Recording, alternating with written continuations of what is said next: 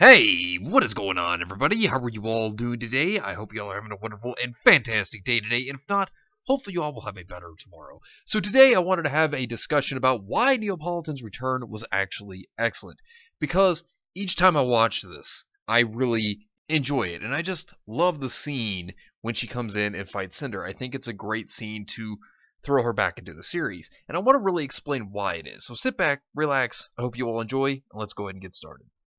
I have been waiting for this moment for Neo to return, and I love Neo's character. I think she is fantastic.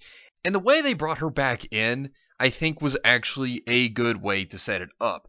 From the moment that Cinder is finding out where Team RWBY has gone off to, since they're heading to Atlas, we then hear the umbrella and we hear Neo land. And I've got to say, the way that they did this, I really loved it. Neo is standing up there. You see her holding the umbrella, and she's got that look on her face, that confident look on her face. And here's what I'm going to say. Starting off, the design of the new Maya model, I'm conflicted. I'm conflicted with that model and the old poser models because I just like Neo. I like every version of Neo, and it's hard for me to say which one I like the best. It's a conflict for me but I think that it looks good. And with the green eyeliner, it's kind of funny because it's like a nod to ice cream because you can have mint ice cream. It's kind of funny to me. Now, looking at Neo's fighting style, now this is one thing I really want to talk about. Her fighting style.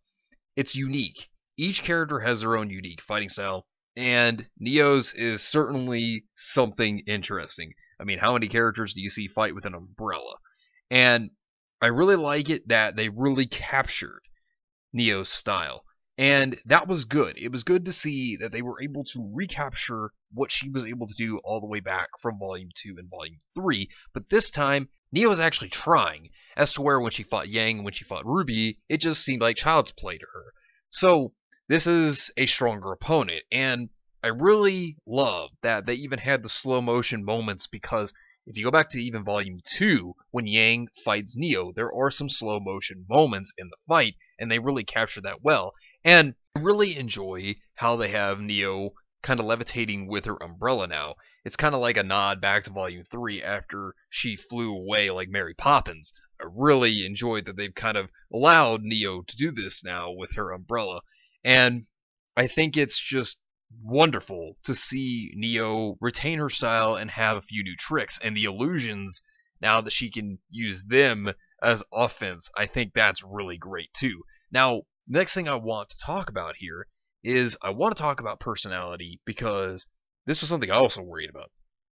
They kept Neo's personality. She has that smug look and I love it. Smug Neo is just great. I love Smug Neo. But I really like that they were actually able to keep this and keep her personality because she is definitely tactical on the battlefield, and she's proven that. And we even see that, as she did with Yang, she sized up Cinder in this fight a little bit, trying to see where her power ranged, and I liked that. I like seeing that we still have that side of Neo too. Not only do we have the fighting capabilities, but we also have the personality, the reason why I worried about this was because of how some characters were treated in the previous two volumes before Volume 6. Some characters were either left out of the spotlight or their characteristics were just completely gone almost. It was almost like you could replace certain characters. It's like Ruby, for example. Ruby didn't feel like Ruby at all in volumes 4 or 5, especially 5. And it really hurt the character. Now, as to where it seemed like with Neo, since Neo has so many fans, they really had to try hard here with the fighting style, the personality, trying to get it all right, and they definitely did. I think they did that well. And Neo finally having a theme, which it's about Torchwick and about how when she lost Roman, she basically lost the one thing in her life. Eh, get it? But, you know, it was the one thing that was something that just held her together and was the joy in her life. And then she lost the closest person to her. And I really like that that's what the song's about because, as I stated before previously, Neo still had relevance to the plot, and that was because Torchwick died and she would want revenge.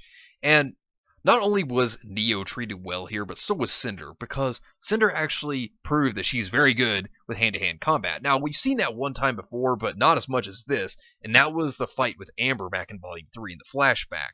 That was when we did see that Cinder was pretty good at hand to hand combat, and now here it really gets to be flushed out more. So Cinder herself even got good nods within this fight to her own character.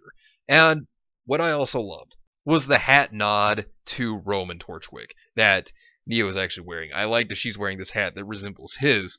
It shows how important Roman was to Neo, and I really enjoy that. Not only that, but another thing that goes back to Neo's character that I wanted to bring up too was the fact that if you remember back in Volume 2, when Neo was about to kill Yang, Raven came in, and Neo knew the power gap between herself and Raven, and she fled. And then here we are with the situation very similar to that when she's fighting Cinder. Cinder uses her maiden powers, and Neo is afraid. This is where she then knows yet again that she is outmatched. So she knows her strengths, and she knows when she's outmatched, even. And I like that because Neo knew yet again when she was outmatched. And I appreciate that because they really kept the intelligence to her character as well.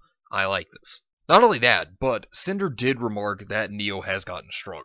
Neo can now use her semblance of illusions offensively, and that's really good. This means that Neo is a lot stronger, and she is already wise. So you put that wisdom with strength, that's actually a terrifying combo that is to come with Neo, I think, in the future. And another thing I want to say to end it off, I love the joke that they had about Cinder wanting to discuss with Neo about how to kill Ruby. Then when Cinder says, let's talk, Neo just points to her mouth like, hey, I can't talk. I do love that.